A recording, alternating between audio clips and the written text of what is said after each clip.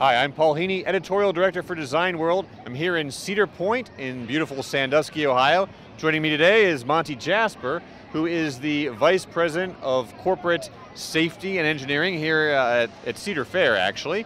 And we're standing in front of the Power Tower, one of the taller rides in the park. And it's, uh, Monty, tell us a little bit about it. It's sort of uh, four rides in one, and it's a little bit, it's part pneumatic cylinder and part shock absorber.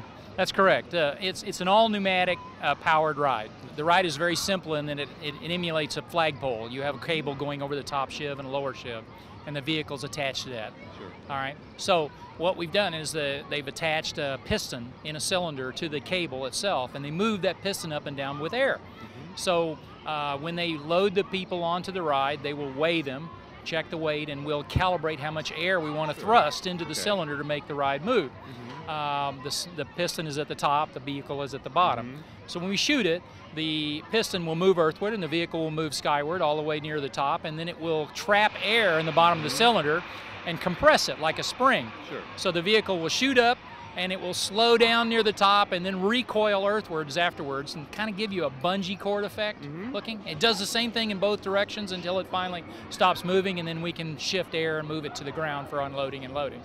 So, so, so two of them shoot upward and then two of them shoot downward, right? That's correct. We have two uh, uh, two shots and two drops. The drops are just reverses of the shots. They have everything opposite so that it shoots the piston in the opposite direction that, that the shots do. Great that uh, this ride uses pneumatics. It's probably one of the only uh, technologies that you could use to achieve that kind of a ride, but it's a little bit, uh, I understand, of an energy hog too. Well, yes, we got very, very large compressors that are that are that are uh, you know greater than 150 horsepower that are running all the time on these uh, this ride to keep it supplied with air.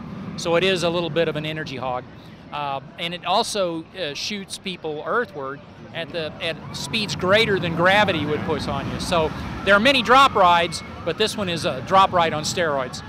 But uh, the other thing with pneumatics on this ride, I'm, I'm guessing it's uh, pretty maintenance free from your perspective? Oh, it's a very reliable ride. It, uh, you know, it, it has a computer program that gauges the weight, gauges the input of the air, and essentially shoots the ride up and down. But it's a very, very simple ride for us to maintain and to operate.